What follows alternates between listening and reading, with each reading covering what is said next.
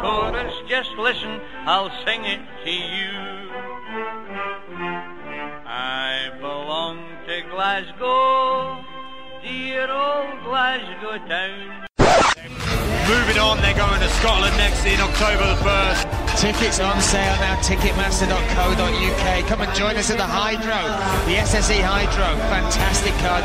ACB Absolute Championship Biathlon представляет вам свой 45-й It's in the Borsa!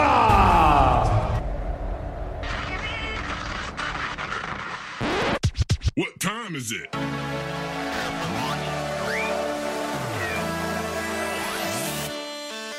Fight! Hello and welcome to the Martial Arts Chat podcast. I'm your host, John Boy McElroy, and on this episode, we'll be covering the Absolute Championship Berkut 47 event at the SSE Hydro in Glasgow, scheduled for the 1st of October. We'll be speaking to all the big fighters on that card, as well as getting reaction and build up from our expert panel later in the show.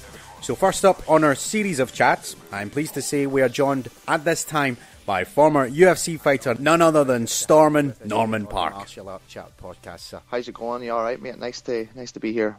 ACB is uh, it's just round the corner now, and uh, first the most obvious question to you, sir, is how's training been with weight cut, and how are you feeling going into your uh, 28th professional fight? I'm feeling good. Um, obviously, it's a different. Um, I'm looking at it from a different perspective. From you know, I'm not in UFC no more. It's uh, it's like a, a new chapter. So um, um, I'm focused. I'm dialed in. I'm I'm I'm looking forward to getting in there and uh, you know, just getting in there and feeling feeling the new the new arena. You know, the the new home. You know, so it's um it's going to be a great experience. I'm looking forward to the whole uh, seeing what way the ACB got this uh, show set up here in the UK. It's, I know it's their first show here in uh, in the mainland, so Yeah. I'm looking for I'm looking forward to getting in there and, and, and putting on a good show. And like we sort of alluded to there, your last fight, of course, was a, a decision loss against uh, Rustam Khabilov at UFC Fight Night back in uh, February. Um, if I can ask you, sir, just to cast your mind back to that, have you had a chance to watch that fight back? And, and if so, benefit hindsight, anything you would have done different, Norman? Um, yeah, I did. I did watch it back. Um, I think um, I respect. You know, it was part of my training as well. I, I wish I had a. You know, there was a mis- mistake on my behalf. I wish I had a went to America and trained with the elite wrestlers. You know, because um, chatting to him after the fight, he was. You know, he went back to his roots in wrestling, and he was training with what Olympic, twelve Olympic wrestlers every day. So. I never had that. Uh, I felt that my takedown defense was enough that I could stifle his game, but no, his his wrestling control was good, and you know he get the first round, I get the second round, and it was the third round was it was all to, it was all to play for, you know, and Yeah. I had his back. There were certain moments in the fight where it was it was leaning towards me, and and then once he once we halfway through the round he made that exchange and got my the body lock and controlled me from there on in. It was that was um that kind of you know uh, put me off a wee bit, you know. But then I thought, you know, I never put the proper training in for for him, so respect to him, he get the job done. But I watched the fight back a few times, you know. I felt did pretty well. Not much happened in the fight, but you're going to expect that when you get two, you know. I knew you wanted to wrestle me the whole time, so I was trying. I was just worrying about the takedown the whole time, and you Yeah. can never really let the striking go as much. But once once I had him on the back foot there in the second round, he was uncomfortable. If I like, if I could have kept that going in the third round as opposed to going for the takedown, you never know. Maybe I could have um, nicked a win, but I definitely took a lot from that fight. There's no doubt about it. I faced the to- the toughest um, the toughest lightweights there. You know, my last few fights were real tough, strong boys. So I, I I gained a lot of experience from that. And I, after uh, that fight, I mean, we were all quite shocked, uh, as in the press, myself included, that you were released from the UFC.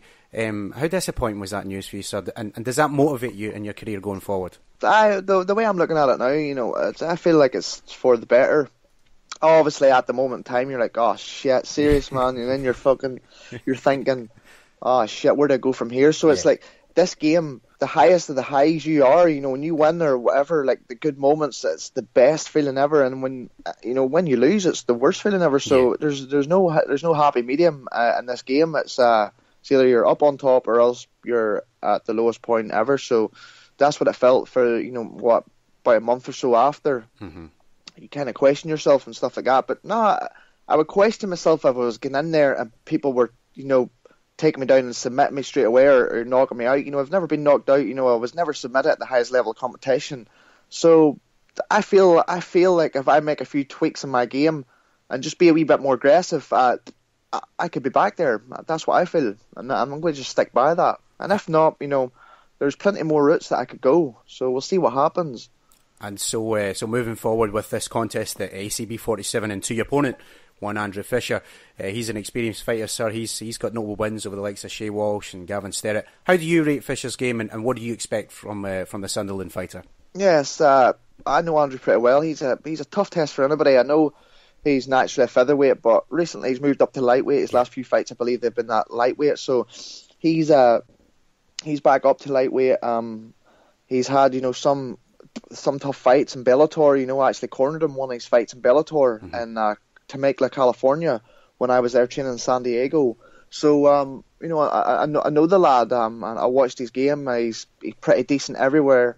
Um, you know, he's got experience. He's fought some strong, uh, but he fought Abdul Muhammad, who's a strong wrestler. So he's been in there with some good strong boys and, and stuck it out. So um, it's going to be a tough test, but I feel like I've got the ability to get the job done. Any mixed emotions? I know you mentioned that you cornered him uh, out in the states and things like that. Does any of that factor or, or play a part um, when you uh, when you come to face him in cage side? Nah, none whatsoever. You know, I'll you know there ain't going to be any smack talk or anything like that. He's a he's a nice lad. You know, um, yeah.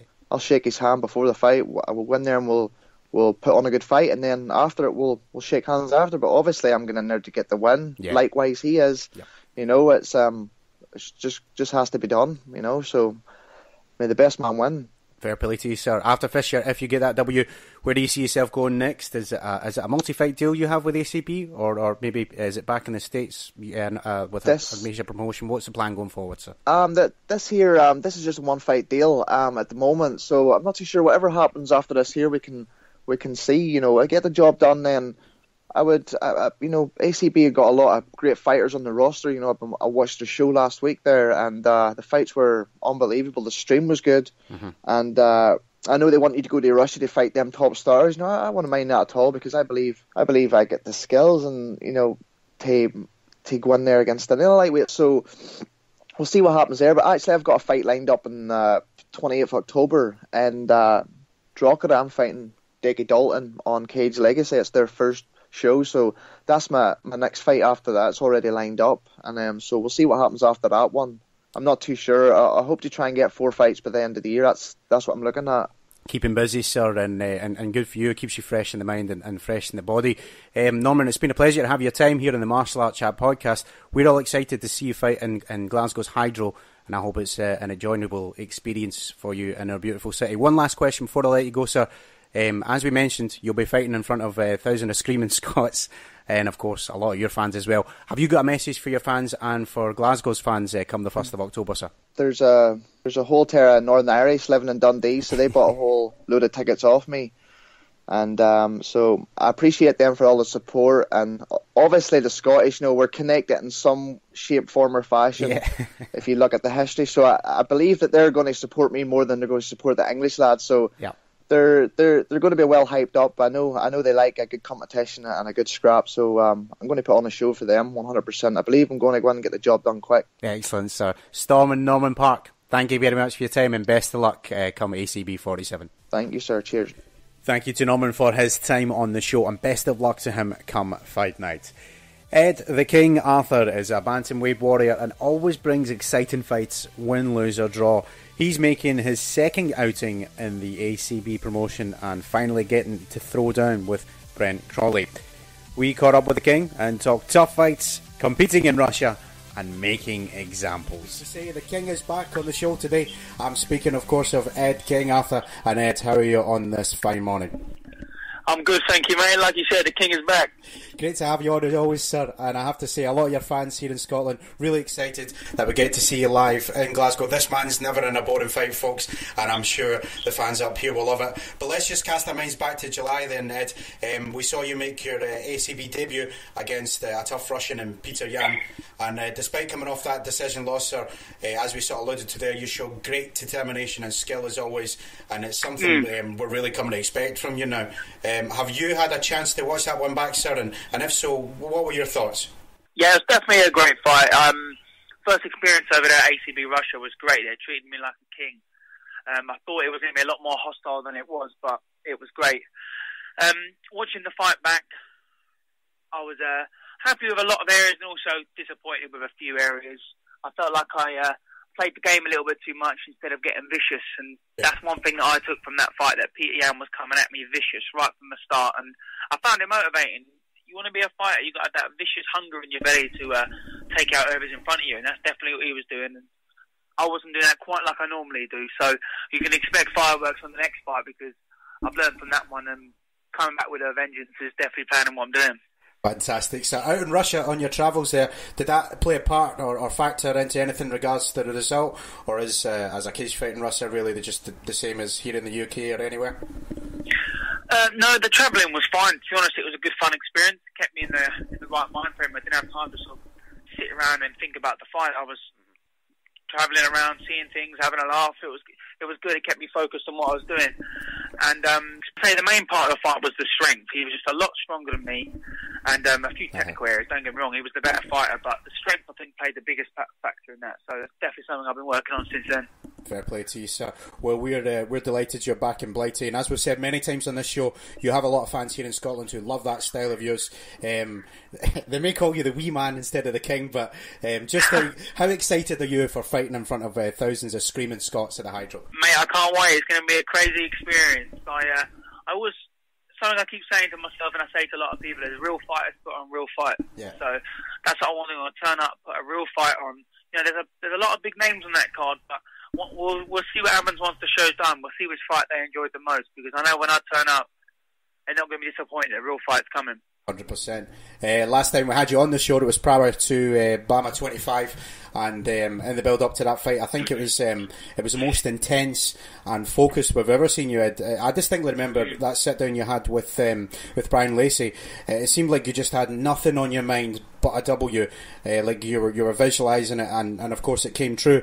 Uh, do you think that was the most you were ever focused in the lead up to a fight, sir? Yeah, there was a, there was a lot on the line, but it wasn't people say to me like grudge match. I heard the words grudge match a lot. Uh-huh. It wasn't. It wasn't like that for me. I was.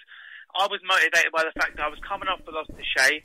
I had talks about big things getting lined up with ACB and other, you know, other opportunities of other promotions and stuff like that. I wasn't about to go two losses in a row. I was about to finish yeah. the man quick and make an example that he wasn't on my level and that I was on. I'm on the high level with real fighters.